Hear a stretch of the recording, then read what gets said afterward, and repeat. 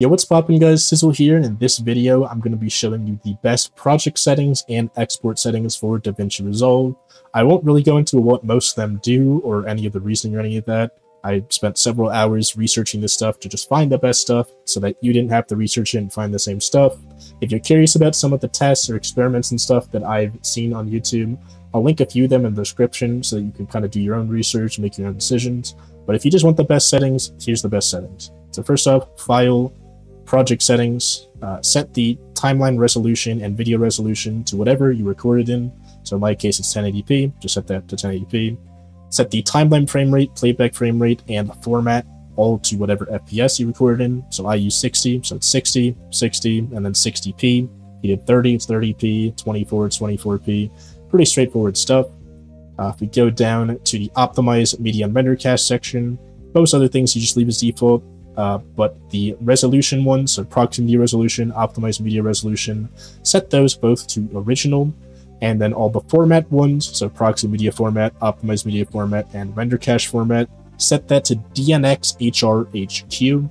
If you're on Mac, just use ProRes, it's better for you, but if you're not on Mac, that's not even an option for you, so Windows and Linux, DNxHR HQ. From here, hit the three dots on the top, save current settings as default, update, and save, and you'll never have to change them again. From here, let's go to the export settings. Uh, I do want to mention, even if you record in 1080p or below, it's worth upscaling to 4K because YouTube for 2K, 4K, and 8K videos, even when watching at lower resolution, so if you're watching at 1080p, the quality will be higher because of the compression YouTube does in the background uh, being better if you use a higher quality upload, even if it's upscaled footage. If you are upscaling, if you use 720p, you only want to upscale to 2K because that scales one to one.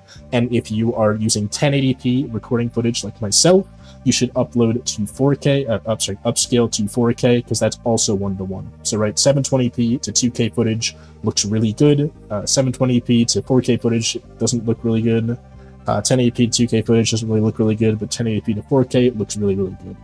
With that out of the way, uh, if you want to still go ahead with 1080p settings, maybe it's like your second channel, you don't really care that much about quality and just want like a fast render time and low file size, uh, then this is going to be the set of settings for you. Uh, the main settings you want to change are codec, make sure that's H.264 if it's 1080p or below, and then the other one is your resolution and frame rate. Change that to whatever you want to use. So my case 1080p 60 right here.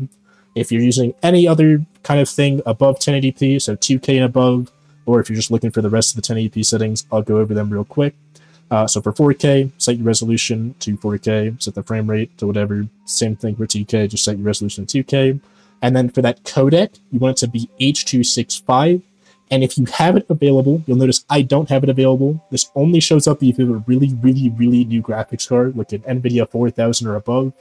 Uh, you want to click AV1 if it's an option here for you. It'll make the file size smaller while still keeping the same quality. From here, I'll go over all the settings that are going to be the same between 1080p and 4K. Uh, and that's pretty simple stuff, right? So format, set that to QuickTime. Encoder, keep that on auto. Network optimization, turn that on. Quality, this is your bit rate don't click the restrict one. I know a lot of people recommend it. Click automatic, set it to best. DaVinci Resolve does a great job setting the bitrate properly. Just let it do its thing.